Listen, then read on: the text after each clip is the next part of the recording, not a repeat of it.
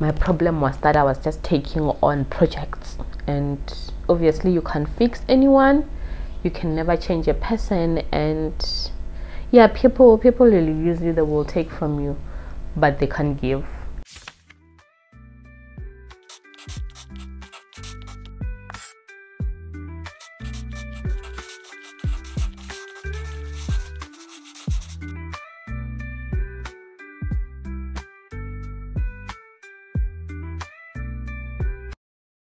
Hey guys welcome back to my youtube channel. My name is precious and here is today's diary entry. Before i begin guys please do not forget to subscribe to this channel like the videos and also comment. I would really love to hear your thoughts and opinions about the things that i'm talking about anyways so today i would like to talk about something called a savior's complex or the savior's complex um, it's a personality disorder and it's something i discovered about myself three years ago so what led to the discovery was my father's passing né? when my father passed uh, during the week of preparing for his funeral there were people that I believed were very close to him, or at least people that he went out of his way to help. Where when we were like, you know, chilling as a family and everyone else, all those people could talk about was what my father did for them and what he was planning to do. And not in the sense that they appreciated everything that he did for them, but in the sense that they are sad that all those things are now gone. So during all those conversations, um, I saw myself in my father because we were like I've always known that we are similar, like we are very very similar personality wise, and um, also he raised me so.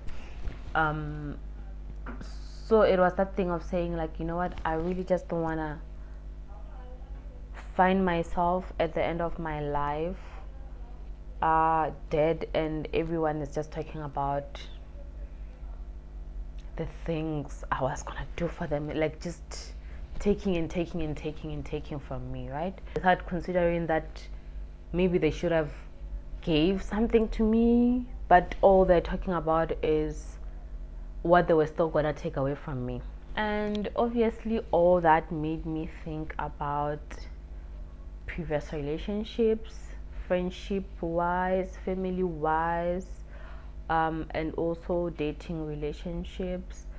Uh, I needed to just sit down and ask myself, why is it that I'm always frustrated with those people? I feel alone in those relationships and yeah what is it that i'm doing that leads me to feel all those feelings? So what literature says that um, obviously uh, a savior complex is different from people pleasing um, which is something i'm definitely not. I've never cared to fit in. I've never fit in in my life. I never cared to fit in. I always stand my ground. I always um, stand firm to my beliefs and I always stand up for myself. I'm never afraid to say things that I know that will make people uncomfortable if I believe that it is right and it is the truth. I that's I stand up for myself. That's me.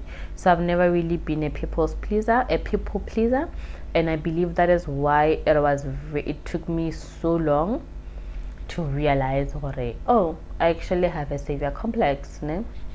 Um, so anyways literature says that it is a white knight syndrome which means that you have a need to save people by fixing their problems you insist on helping even when those people do not ask for your help uh, because you believe you know exactly how to handle uh, other people's problems regardless of their desire to work on the problems themselves and uh, it says that when you have this problem you might believe that helping other people is your purpose which is something I completely believed. I really tried to convince myself what I, am actually my petty name is Malitema, which means mother of the nation. Basically, I bring people together. Basically, I you know I mother people. So I I got to a point because I would help out people, and whenever I needed them, they would not be there. I convinced myself that you know what, maybe my purpose in life is to help, and maybe that's what everyone spoke into me when they gave me that name. Now, and also they say that you spend so much energy trying to fix others that you end up being bent out yourself, which is something I've experienced so much. And um, what it looks like is that uh, it says that in relationships ne, number one is vulnerability attracts you. I can't even think of a guy i've dated that i did not feel like he needed me to be there for him. He needed me to just help him out. And we're not talking about finances we're talking about emotions né? um, so i felt drawn to people who have had more than their share of troubles. So in life i have a lot of empathy for others who are suffering and i have a need to want to take away their pain um, this i think when i was thinking about it i remember that um, i used to tutor someone and when the interns were sitting together, he said, one thing I know about, one thing you should be assured of of Precious is that she will stand up for you. So I guess it has that thing that I want to take away people's pain. You know how interns can be abused in the workplace, and I just, oh my god, I felt the need to just want to rescue them from that. Number two says you try to change people so it comes in a sense of believing that you know what's best for those people, what's best for whoever you're trying to help out. And um, for me, it was that thing that, like I said, I got into relationships, friendships, dating relationships, family wise. I'm just, it, it's just gonna bounce uh, between those three. I got into relationships and you know I was drawn to those people because of their brokenness and I also felt like you know what if maybe they find a new hobby their lives will be better if maybe they changed a certain attitude their lives would be better because that's what worked for me. Whenever i was whenever even it, it still works for me today. Whenever i feel worn out i feel drained and all those i know. Or whenever i feel lost i know that if i just focus on a certain hobby of mine it could be hiking it could be gym it could be making soaps i come back to who i am. I i, I then start finding my, my my my center and i'm able to then just start being able to just give myself to life you know to just start living basically. So yeah I, I i i i just would get into relationships with people that were broken and or were lost and i just felt like no man i mean i can help you out if you change your attitude if maybe you just find something that centers you you're gonna be fine number three says you always need to find solutions. So I always cared more about fixing problems that my loved ones are dealing with and i think within like auto, like actually automatically whenever i encounter a problem in my life my mind goes to yeah okay there's a problem but boom what could be the solution how do i fix this and that's just how I deal with things, which is also a problem because um, I don't process things as they happen. I will end up processing them later. And when it comes to other people's issues, loved ones, um, they tell me there are problems and automatically i think of a solution. I don't think okay maybe i need to comfort this person. Maybe i need to give them days to just process whatever they're going through. Maybe i need to give them time to just cry it out. I always think yeah that's a problem but now let's let's move to a solution eh?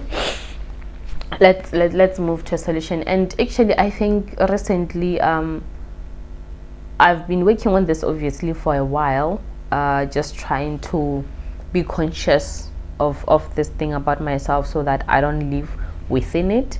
But um i notice it as soon as, as it happens therefore i can maneuver it and I got into I actually started dating someone recently and within a month of dating they encountered a problem and um so the person came to me and they vented right? As they were venting i came up with solutions. They didn't ask for solutions but now i was just coming up with solution ideas of resolving the issue. So i came up with ideas immediately. Like the person wanted to vent and they wanted to feel sorry for themselves for a while but in that moment i just went solution solution solution solution. And I, I wasn't like I wasn't conscious of it. And then later on the person came to me and they were like um you know what I like about your precious? I said what? They said you're solution based ne?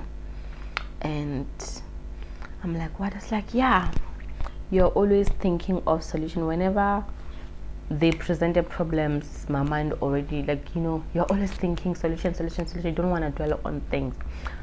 And obviously that kind of just went like light bulb as in okay you did it. Number four says that um, people with a savior complex make excessive personal sacrifices and this one a colleague slash friend i don't know if he considers me a friend a colleague slash friend a colleague slash friend made me conscious of it. Um, so with this one it means that you you you you don't just help people when you have the time and resources and resources to help them out but you bend over backwards to help those people because you believe it is the right thing to do.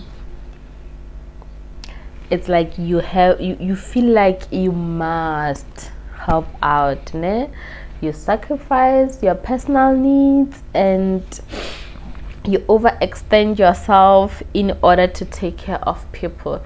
And oh my goodness the oh my goodness this one uh, this one the moment the person made me conscious of it i was like no there's no denying this there's no trying to just maneuver it. This is me and um them right? So um, for example ne, whenever a family member calls me and they be like oh my god i'm in trouble. I need like 500 rands tomorrow. And i still have like maybe 10 days to go to my month end and i know what I, in my uh, day-to-day -day spending that is the only amount i have left. I will sacrifice it. When I know that I am in need, but um, for example, let's say we are driving, we are going on a road trip as a family or as friends or even like uh, with a boyfriend. I've done it with a boyfriend, and we have to drive for like 300 400 kilometers. Ne? and the person will be like yeah you know uh my car can't I, I don't even question it i'll be like that's fine we can use my car i don't think about the tires. I don't think about everything else. I'm like yeah no we can use my car because i feel like nope probably they have more car trouble than i do. And during those drives i would drive all the way. If the person doesn't say oh my god let me help you out i'll just drive and they can even fall asleep at the back because I don't know, somehow my mind goes, maybe they're tired, maybe, you know, because I think I con I, I don't know, I just believed that um, if they really had the energy, they would donate it to me, they would help me out. So if they're not offering to help, it means they really don't have energy, they're really tired or whatever. And I would just drive all the way and even with other cousins whenever they would call me and be like oh my god i need five for example i need 500 rands by tomorrow and i know i still have like 10 days to go to month end and the 500 is all i have left in my day-to-day spendings. I would be like you know what? It's fine. I'll give it to you. If i happen to need money in those uh, 10 days i will go into my savings. Sacrificing. And later on you find you learn or it wasn't really a need. It was a want but you always think oh people need it more than me five says that uh, when you have a savior complex you think you are the only one who can help ne? it means that you believe you have the ability to rescue someone or improve someone's life ne? so you take on a parental role uh, by correcting or patronizing people. And yeah correcting i always corrected people a lot. Reflects um, for example even with spelling. I am not even good at english. I am still learning how to speak english but I remember that the moment someone uh, pronounced, but I remember that so whenever someone pronounced something wrong, immediately I just went, ah, no, it's not one, two, three, four, five. For example, let's say Ohio, and I'd be like, it's not Ohio, it's Ohio, and that, oh, guys. But that one, I have to say that that one I have learned to control and I've noticed that I haven't done it in a very long time. And I know or your people felt or oh so she thinks she's better than us. And it wasn't like I wasn't doing it consciously. I wasn't even trying to like patronize people. I just felt like a need for things to go the right way. Which is not my responsibility but somehow i took it on as my responsibility. And then so how it affected me was obviously burnout.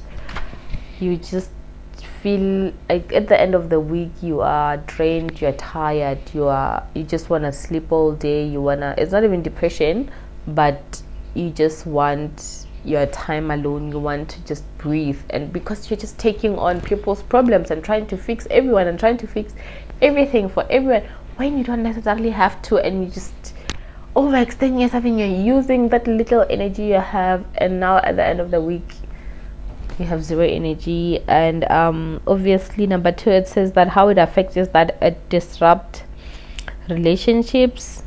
I think for a very long time I thought there was something wrong with me because friendships, relationships, family wise, I just don't have, I, I, I, didn't have good relationships with those people. I felt like, oh, maybe my cousins are just, why are they using me? Why are those guys just using me? Because I, not one guy I've dated could come to me and say, oh, you're horrible. They always say, you're a great person, you are such, you are my rock. But I can't say the same about them. When I needed them, they were nowhere to be found. They were not my rock, but they just bragged about how I'm the rock, and that just frustrated me so much. And I felt like, oh, maybe if they can see what support is, they know what support is, they know what having a rock feels like, but they can't do it for me.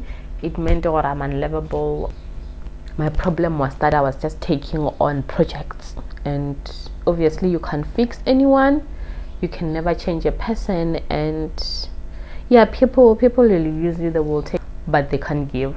And yeah so with all that um learning about it and trying to always be conscious about it and being aware of it so that every time i feel like oh this is i'm definitely now in that savior complex mode i'm able to recognize it and oh my goodness.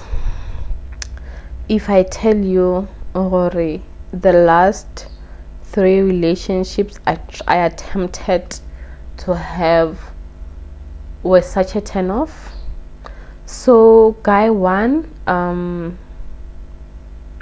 i met him and within like two weeks of talking this guy was just telling me about how a woman is supposed to fix the man and i was like nope i'm not gonna be anyone's savior. I was out. The second guy the one that said or he liked or i'm always a solution based. He just started trying to just dump on me and with dumping his issues on me it came with disrespect. So he would do things and blame those issues and i was like you know what? I'm not staying through this. I'm out. And the other one also the third one we dated and oh he just started telling me problems and how basically i like i just i can't i get turned off by a guy that i have to just fix or teach how to do things or whatever because I feel like you know what I'm an adult. I know how to fix my life. I know how to get the things that I want without anyone helping me and I'm not I don't want to put myself in a position where I have to help a guy. Like I don't know. All I can do is just be by your side. But if you want me to actively fix your issues that is like the biggest turn off and a guy that feels sorry for himself another turn off so yeah ever since i realized that uh, the problem is me i want to fix so bad. Dating has been hard because it seems like people just don't want to work on themselves. They want someone else to come work on them. And i'm just not doing that even with friendships. I don't believe in, oh, this is just how a person is. No, I just believe that if you have something to say, come to me and say it. If you can't say the fact that when now you have to act nasty, you have to act shady because, well, you can't say what you need. Like I, I just, I, I just, I cut myself off from a lot of people. So yeah, um, but ever since I realized the worry, that is an issue that I had, life has been easier and lighter. So, yeah. Guys, don't forget to subscribe, like, and comment. Uh, see you in another entry. Bye.